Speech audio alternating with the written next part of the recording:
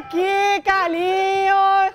Acabaram de me ver ali no VT, eu dançando, aí Carlinhos estava aqui dizendo que é a mesma dança. É padrão de qualidade, meu filho, não tem por que mudar. É o mesmo estilo que é o padrão, tem que manter o mesmo padrão. 11 horas e 57 minutos. Você que está acompanhando a gente aqui no nosso programa da comunidade, ontem teve votação lá na ordem para a escolha do presidente da Ordem dos Advogados do Brasil e os advogados reelegeram Marco Aurélio Choi para mais três anos à frente da Ordem dos Advogados. O processo eleitoral, com três chapas concorrentes, teve um pleito tranquilo durante todo o dia. O Bruno Fonseca esteve lá e acompanhou tudo. Roda aí. A votação começou pela manhã de quarta-feira no Sambódromo de Manaus três chapas concorreram, unidos para avançar do candidato à reeleição Marco Aurélio Choi, nova OAB de Jean Cleuter Simões Mendonça e renova OAB de verdade do candidato Marcelo Kisen. Colocando nas mãos de Deus e da advocacia amazonense o poder de escolha. Uma festa da advocacia amazonense. Eu espero que a campanha corra bem e eu tenho certeza que isso vai ocorrer com voto e com alternância de poder. Renovação e de combate a tudo que está de errado na nossa advocacia, está confiante. Cerca de 7 mil advogados estão aptos a votar e quem não exercer o papel está sujeito a uma multa a de 160 reais. Nós esperamos o melhor que tudo corra com tranquilidade. Nós sabemos que uma eleição nunca é fácil, sempre tem alguns contratempos, mas no, no geral está tudo ocorrendo de forma tranquila. Nas primeiras horas de votação, as urnas eletrônicas de duas sessões apresentaram problemas e foram substituídas. A categoria reelegeu para mais três anos à frente da OAB o presidente Marco Aurélio Choi, com 2.290 votos, com a diferença de apenas 169 do segundo candidato. 11 horas e 59 minutos. Você que acompanha o programa da comunidade, continua ligado com a gente. A gente vai trazer para você informações e presta atenção, porque agora é futebol, é, minha gente? Ah, futebol! Tem uma, tem uma notícia boa para você que está aí do outro lado. O Vitor Gouveia vai trazer informações para a gente, porque você pode trocar é, alimentos não perecíveis por ingressos para a semifinal do torneio. O evento é hoje, lá na Arena da Amazônia. Vitor, me conta essa história. Como é que vai ser isso? É isso mesmo, essa notícia aqui é para quem é amante de futebol. Hoje, lá na Arena da Amazônia, tem a rodada dupla da semifinal da Copa Libertadores Feminina. O Iranduba que é o Hulk da Amazônia, vai jogar contra o Atlético Huila e logo após tem Santos e Colo-Colo. E quem quiser assistir esse jogo hoje lá na Arena da Amazônia, pode trocar o ingresso por um quilo de alimento não perecível. É isso mesmo. Um estande da Libertadores, que fica lá no Manauara Shopping, está trocando esses ingressos por um quilo de alimento não perecível. O limite é de quatro ingressos por pessoa. Então, se você nunca conheceu a Arena da Amazônia, nunca viu um jogo de futebol lá, hoje é a oportunidade. Vá no estande que fica localizado lá no Manauara Shopping, troca esse 1 kg de alimento não perecível e vá assistir esses dois jogaços. Também dá força aí para as meninas do Iranduba. O horário é até às 5 horas da tarde. Até às 5 horas da tarde você pode trocar esse ingresso. Volto com você no estúdio. Obrigada, Vitor Gouveia. É uma oportunidade para a gente prestigiar o futebol amazonense. Porque, a exemplo do que acontece no Rio de Janeiro, que todo mundo fica louco, vai todo mundo lá para o estádio para acompanhar os jogos, nós não fazemos isso, infelizmente. E aí fica as meninas lá na luta, os, os jogadores também se esforçam, dão tudo que eles podem, tiram toda a força que tem no âmago para poder fazer um bom jogo e não tem ninguém assistindo ou uma plateia completamente vazia, infelizmente. 12 horas ou com pouca gente, né? Porque, infelizmente, é uma tristeza a gente não prestigiar o nosso futebol. A Amazon Prev realiza audiência pública para apresentar as novas ações para a Previdência Estadual no ano de 2019 e faz uma avaliação da performance da instituição no ano de 2018. Quem foi lá conferir foi o Luiz Rodrigues e ele que conta as histórias, esse detalhe para a gente aqui na tela. Luiz. Márcia, nós estamos na sala do, do, do, Conselho de Administração aqui da Amazon Breve. Ao meu lado, o presidente do Conselho de Administração, Vander Mota, o doutor Vander Mota. Doutor, hoje são esperados quantos servidores públicos aqui para acompanhar é, esse planejamento de ações da Previdência Estadual para o ano de 2019? Na realidade, foram convidados todos os órgãos do Estado, todos o Estado como um todo, todos os poderes, todos aqueles que fazem parte dos servidores efetivos do Estado, para compor e assistir à reunião hoje do Conselho, que vai tratar do planejamento estratégico do ano de 2019. Isso é muito importante porque aqui nós tratamos do patrimônio do servidor público. Aqui que está a segurança do servidor público, aquele que trabalha, que presta o seu serviço na área de saúde, segurança, educação, em todas as áreas do Estado. Aqui é a segurança, é o patrimônio dele, é a garantia de que depois dos anos trabalhados, o recurso dele aqui está sendo aplicado e bem aplicado para que ele possa no futuro ter os seus benefícios, principalmente a sua aposentadoria ou os benefícios de sua família família assegurados. Então, o que, que o servidor público pode esperar com esse planejamento para o ano de 2019? Principalmente transparência. Nós sabemos que nós vivemos é, economicamente, o país tem passado por muitas turbulências, é, a, a, o mercado varia muito. Esse recurso, por exemplo, dos servidores, ele fica aplicado em várias instituições financeiras aqui do nosso estado. E aqui dentro do Amazon Prev existe um comitê de investimentos que acompanha diariamente a evolução desses recursos, acompanha diariamente a situação do, do mercado, a evolução de mercado. Ou seja, um problema dos Estados Unidos com a China lá envolve no mercado nacional, a, mudança agora, que nós não sabemos, vamos ter mudança de, de presidência da República, tem mudanças no rumos da economia do Brasil. Isso tudo tem que ficar atento para se saber realmente se os recursos que aqui estão disponíveis, que são dos servidores, se eles realmente estão sendo é, aplicados de forma correta, que é esse a nossa a, a função da instituição Amazon Prev.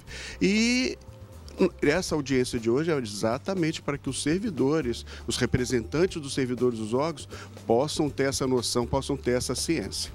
Então, obrigado, doutor Vandermoto. Então é isso, Márcia. A palavra que fica para o ano de 2019 para o servidor público é que as coisas serão mais transparentes. Nós voltamos com você aos estúdios. Obrigada, Luiz Rodrigues. Isso porque a Amazon Prev já ganhou, inclusive, premiação internacional e nacional por causa da, da, da valorização que eles têm dos funcionários e a valorização da Previdência Estadual. 12 horas e 4 minutos. Vamos lá, minha gente, que a Polícia Rodoviária Federal lançou o edital do concurso para o ano de 2019.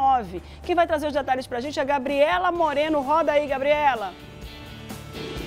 Sim, Márcia, são 500 vagas para o concurso público da Polícia Rodoviária Federal, sendo 23 para o Amazonas. Os candidatos devem ter curso de nível superior completo em qualquer área e carteira nacional de habilitação. São 40 horas semanais, com salário de R$ 9.473,57. As inscrições custam 150 reais e devem ser realizadas entre 3 a 18 de dezembro, por meio do site cesp.unb.br concursos. Volto com você. Obrigada, Gabriela Moreno, que trouxe informações aí de concurso para você que tem do outro lado. Fica ligado, ontem nós falamos da Marinha, hoje a gente está trazendo mais uma dica para você. Então fica informado aí, porque 2019 vai ser um ano próspero e abundante, vamos crer. 12 horas e 5 minutos, mas não vai ser nem próspero nem abundante para esses dois aqui. Dois homens foram presos por tráfico de drogas na Zona Norte. A droga estava escondida no forro da casa deles. Quem vai contar os detalhes para a gente aqui na tela é o Bruno Fonseca. Bruno?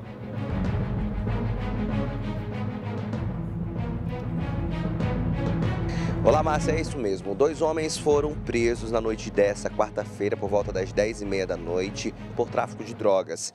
A polícia recebeu uma denúncia em que dizia que um homem estaria na rua Raimundo Parente, lá no Perpétuo Socorro, na Cidade Nova, e que ele poderia estar ali traficando.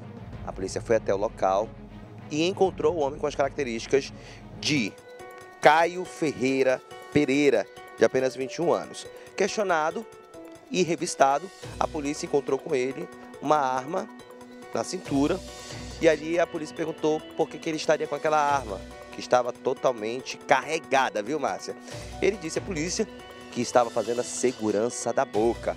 Foi aí que a polícia foi até a uma casa e encontrou Cláudio Rodrigues Pereira, estava dentro dessa casa e disse aonde a droga estava, Márcia.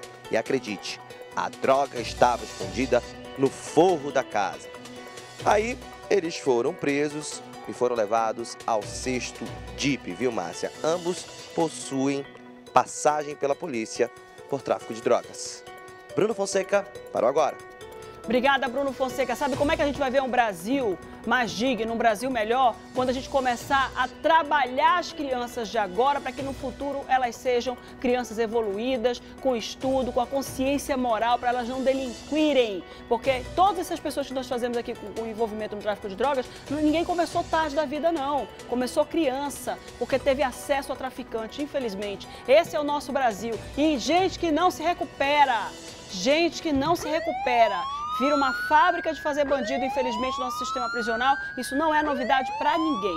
12 horas e 7 minutos, um homem foi preso suspeito de estuprar a própria enteada. Foi depois de uma festa em família em que ele teria ingerido bebida alcoólica na companhia da adolescente. Que é isso? Que cabeça é essa louca? O Luiz Rodrigues traz os detalhes pra gente, Luiz. Márcia, nós estamos aqui na delegacia especializada em proteção à criança e o adolescente, onde neste momento está sendo apresentado o Jairon Alves da Silva, de 36 anos, ele que é acusado de estuprar a própria enteada. Quem vai falar mais sobre o caso é a delegada Joyce Coelho. Bom dia, delegada. Como é que aconteceu o momento da prisão do Jairon? Bom dia. É um, um, cumprimento de prisão temporária que nós pedimos para investigar dois casos que estão aqui na nossa delegacia. O primeiro é um flagrante delito ocorrido no dia 10 de novembro, em que ele foi, foi flagranteado por estupro de vulnerável após ter saído com uma garota de 14 anos e após ela ter, ficado bastante alcoolizada ou, ou drogada, é, ele consumou o ato sexual com ela e ela relata que não consentiu e também não se recorda do fato. É, nós fizemos um levantamento e já havia uma investigação em andamento, uma notícia de, de, de, que no mês de julho do corrente ano, esse mesmo fato teria ocorrido com uma enteada dele, uma adolescente de 16 anos. E considerando a semelhança do, do, do, do fato, nós cruzamos as informações e resolvemos pedir a prisão temporária dele e também uma busca e apreensão para que, que encontrássemos algum tipo de substância no, no apartamento dele e pudéssemos fechar essa, essa investigação.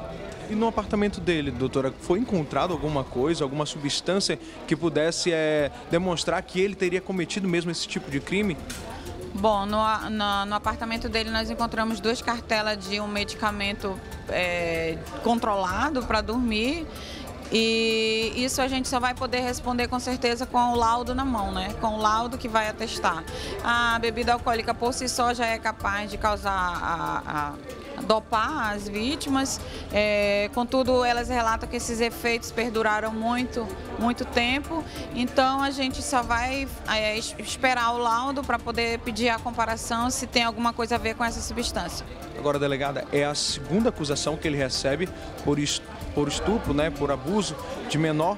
E mas essas provas, essa, essas acusações, essas duas acusações não são suficientes para que ele fique atrás das grades? Sim, sim, nós pedimos uma prisão temporária para esperar a, a feitura do laudo, que como é um toxicológico, ele tende a demorar um pouco. E aí nós temos opções de, de pedir a, a prorrogação dessa prisão temporária ou mesmo a conversão dela em prisão preventiva, a depender do resultado da, da investigação. De sorte que ele já se encontra indiciado pelo primeiro, pelo flagrante, e ele também vai ser indiciado hoje, interrogado indiciado pela segunda investigação os dois por estupro de vulnerável.